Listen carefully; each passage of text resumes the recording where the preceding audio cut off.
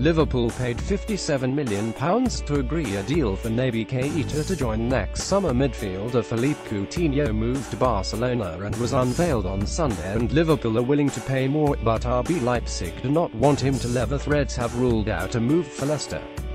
City winger Riyad Mahrez Monaco are reluctant to sell Thomas Lemar, who Liverpool are admirers of by Simon Jones for Mail Online published 1450 Eastern Standard Time, the 7th of January 2018, updated 1450 Eastern Standard Time, the 7th of January 2018 Liverpool will explore the possibility of bringing forward Naby Keita's move from RB Leipzig.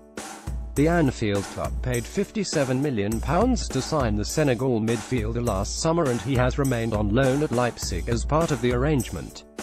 However, they would consider paying an additional compensation fee to bring Keita to Anfield in light of Philippe Coutinho's transfer to Barcelona.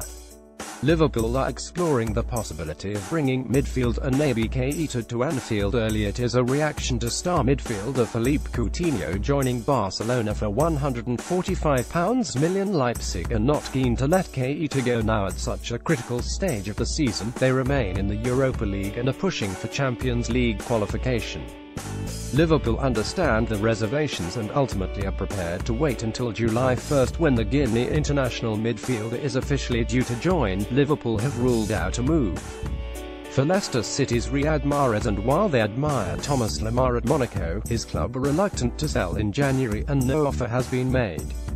Jurgen Klopp is prepared to go with the squad he has should targets fail to become available. But RB Leipzig are reluctant to let their key man leave the club before the agreed